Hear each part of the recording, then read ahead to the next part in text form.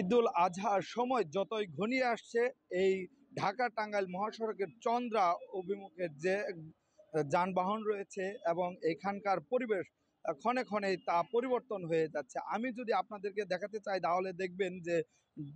উত্তরবঙ্গগামী যে যানবাহনগুলো রয়েছে, এই যানবাহনগুলো ধীর গতিতে এগিয়ে যাচ্ছে এবং যাত্রী উঠানো নামানোর জন্য এখানে বেশ জটলা লেগে আছে। কয়েকটি লাইন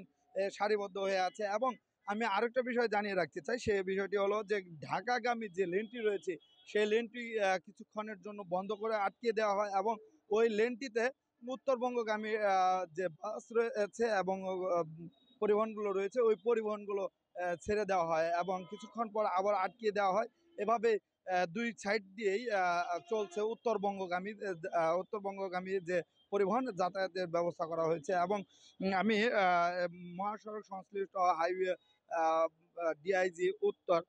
ওনার সাথে কথা বলেছি। উনি যেমনটি জানিয়েছে যে, এই মহাসড়কে হঠাৎ দুপুরের পর কারখানা, শিল্প কারখানাগুলোতে আনুষ্ঠানিক ঈদুল আজহার ছুটি ঘোষণা করা হয় এবং সেই মুহূর্তে মহাসড়কে বেশ যাত্রীদের একটি ঢল নেমে আসে এবং সেখান থেকেই এই যাত্রীদের ওঠানো নামানো এই- করতে দেখা গেছে যে যানবাহনের একটি দীর্ঘ জটলা এবং দীর্ঘ যানজটের ধীরগতি দেখা গেছে এবং তিনি জানিয়েছে যে আমাদের প্রয়োজনীয় যথেষ্ট পরিমাণে পুলিশ সদস্য রয়েছে এবং তারা পর্যবেক্ষণ করছে যেভাবে হোক এই আজকে রাতের আহ,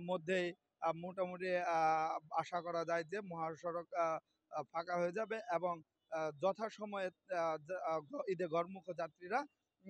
তাদের গন্তব্যে পৌঁছতে পারবে বলে আশা করছে।